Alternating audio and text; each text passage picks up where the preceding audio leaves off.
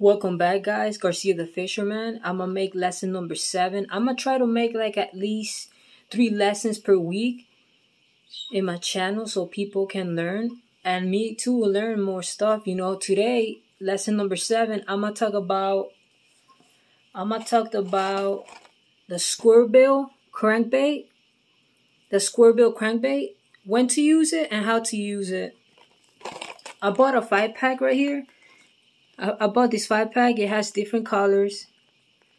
Different colors depends on the forage in the lake. What what what um what fishes are there for large largemouth bass to go after? So to use the um the square bill, I learned that they had the DT10, the TT the DT20, I learned that those are for deep water, not for shallow water. I did not know that, but I learned that. For those who doesn't know that, I want you guys to learn. When you use a, a square bill crankbait, it's for shallow water, and let me explain why it's a good crankbait for shallow water. This this crankbait, this crankbait, you know, in the shallow, there's a lot of woods, a lot of rocks, lot of um lot of twigs. So the square bill is good for not the crankbait not to get snagged. Not to get snagged, you know. You don't want to use a DT, DT10, a DT10, a DT20 in a shallow water because it's to get snagged on a twig or, or anything that is, anything that has in the shallow. You know, there's a bunch of stuff out there and the square bill crankbait is good for shallow water.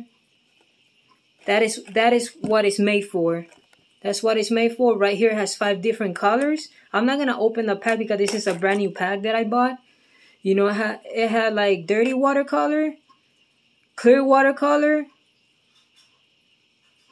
and almost like we can say clean and dirty where you almost can see the the the, the crankbait.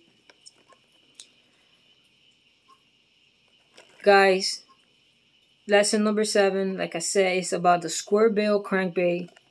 It's for shallow water, perfect for shallow water. I did not know that. You know, there was a lot of times that I was using the wrong crankbait and I always got snagged. I lost my, my you know, I always got it. Sometimes I got it out. Sometimes I couldn't get it out. But the square bill is good for shallow water. So it doesn't get snagged and it's easy for it to get it out if it, it you know if you get snagged. Lesson number seven it's about the square bill crankbait. Do not use a DT10 in shallow water please because that's what's gonna happen. You're gonna keep getting snagged even in the heavy cover it's gonna keep getting snagged. Use a square bill. Square bill is good for shallow water and you will catch more bass with the square bill. You know, I'm a, I'm gonna try to use this pack th this year and catch more bass on the square bill, guys.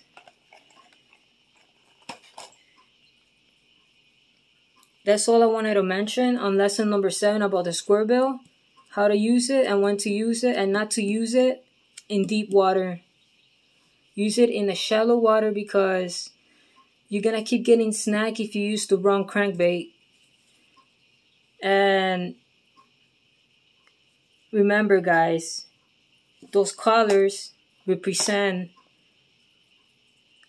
represent the bait, the large mouth, small mouth, whatever you're going after. You have to match the forage, what it's in the water. That's why they have different colors. They represent a bluegill or a a shad, a crawfish, you know. So please, don't make the mistakes I did. We all make mistakes. Use the square bill crankbait on shallow water, like five feet, five feet, six feet. That that that's perfect. That's fine. But when we're talking about ten feet, twenty feet, use a DT crankbait.